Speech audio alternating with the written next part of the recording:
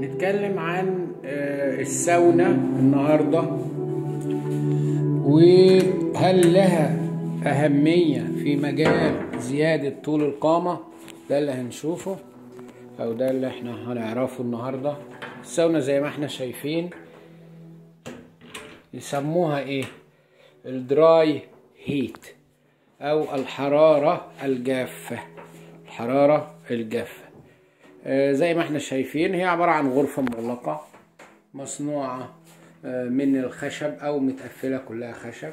لها نظام الهيتنج ده تمام؟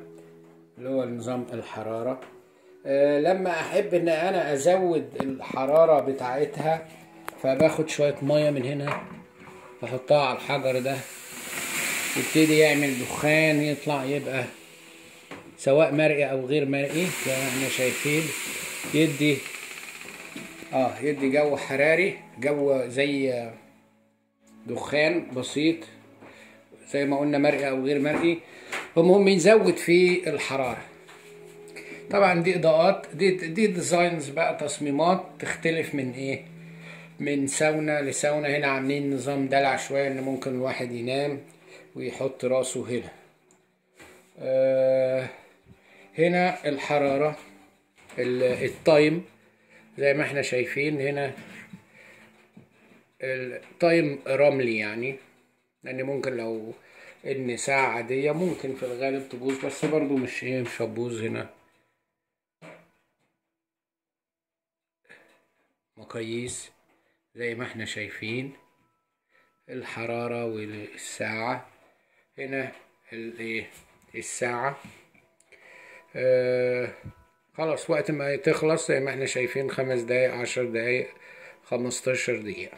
طيب إيه الوقت اللي إحنا نستخدم فيه الساونا؟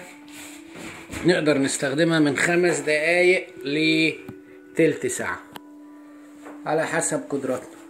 وطبعا زي ما إحنا متفقين في كل شغلنا إن التدريج أو التدرج في التمرين ده من أهم الإيه؟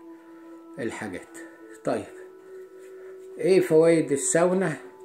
يهمني آه لها عدد طبعا من الفوائد لا حتى يقولوا إيه ساونا سيرابي يعني العلاج بالساونا.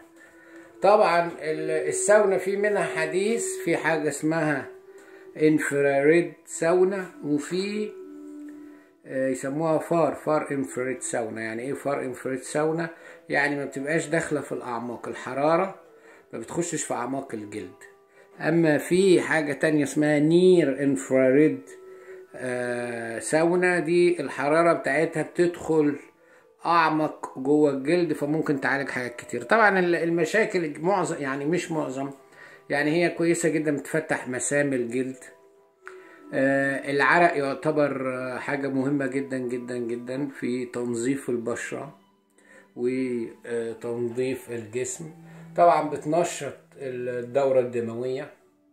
بالنسبة للبلاد الشديدة الرطوبة ال ال ال السقعة زي فنلندا زي آه، السويد الدول الإسكندنافية وغيرها. طبعا الساونا دي عندهم حاجة أساسية سواء كانت في الجبال سواء كانت في الشوارع وبتبقى ساونا عامة آه، كبيرة يعني.